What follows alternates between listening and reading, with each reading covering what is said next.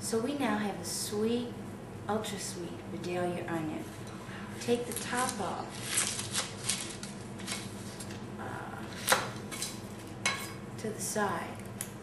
Root up, slice down, cutting it in half perfectly. Bring it up as a crescent. Peel the outer layer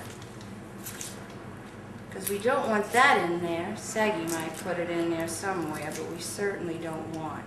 And then we have a perfectly clean, ah, get that little skin off of there, see? It's doing it to me again. Perfectly halved sweet onion. Slice it, root to the top, root to the top. And the thinner you make these cuts, the more minced it will start at the very beginning. Don't cut the root, keep the root whole. You are less likely to cry and tear up.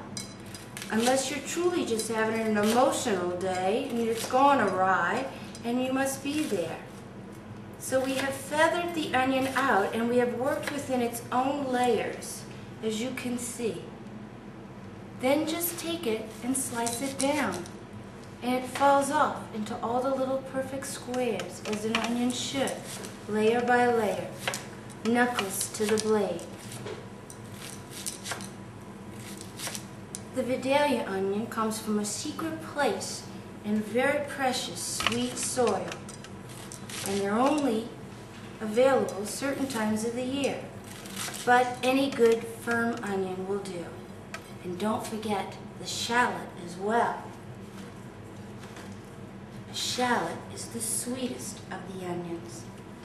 Very tender, very mild. Once again, take off the top. Slice it through the root once. Have it like a little crescent moon. Peel the outside of it. You don't want any onion skin. It would make it oh so bitter. Get the Vidalia out of the way and welcome the shallot. Slice it long ways. The thinner you slice it, the tinier it'll be. Hold it together for those last few rungs.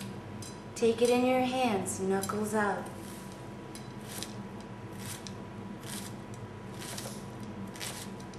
And the wonderful, beautiful scent of the shallot envelopes you.